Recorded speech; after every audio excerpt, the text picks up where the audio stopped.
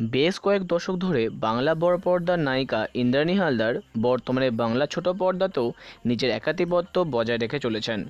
গোয়েন্দাগিন্নি সীমারেখার পর বর্তমানে শ্রীময়ীতে নিজের অভিনয় দক্ষতার প্রমাণ দিয়ে যাচ্ছেন তিনি।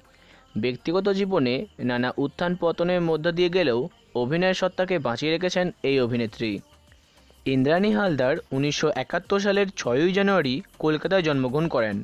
তার বাবার নাম সঞ্জয় হালদার। তিনি স্কুল জীবন অতিবাহিত করেন মাল্টিপারপাস গার্লস স্কুলে এবং স্নাতক হন যোগময় দেবী কলেজ থেকে। ছোটবেলা থেকেই অভিনয়ের সাথে সাথে নাচের প্রতি তার ছিল ভীষণ আকর্ষণ।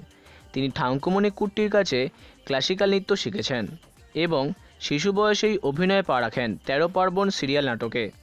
নিজের ব্যক্তিগত জীবনে তিনি প্রযোজক অমরেন্দ্র ঘোষকে বিবাহ করেন। কিন্তু ব্যক্তিগত জীবনে হয়তো অতটা সফল হতে পারেননি তিনি। কারণ কিছুদিনের মধ্যেই তাদের বিবাহ বিচ্ছেদ হয় এবং তারপর অভিনেতা সঞ্জীব দাশগুপ্তের সাথে সম্পর্কে জড়িয়ে পড়েন তিনি। অনেকেই মনে করেন তারা বিবাহ করেছিলেন। যাই হোক, তাদের সম্পর্ক টেকেনি। পরবর্তীকালে ইন্দ্রাণী হালদার ভাস্কর রায় নামে এক বিমান চালককে বিবাহ করেন। সেই নব্বইয়ের দশকের আগে থেকে বাংলা অভিনয় জগতে তার রমরমা।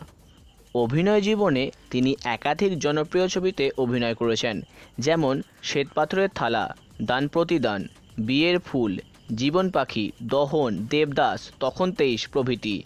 চলচ্চিত্র জগতে তিনি অনেকবার সেরা অভিনেত্রীর সম্মান পেয়েছেন পেয়েছেন অনেক জাতীয় পুরস্কারও। অভিনয়ের পাশাপাশি তিনি একজন সমাজসেবী। সমাজসেবামূলক কাজেও পিছিয়ে নেন তিনি। তো বন্ধুরা একজন অভিনেত্রী হিসেবে ইন্দ্রাণী হালদারের অভিনয় তোমার কেমন লাগে কমেন্ট করে জানাতে পারো।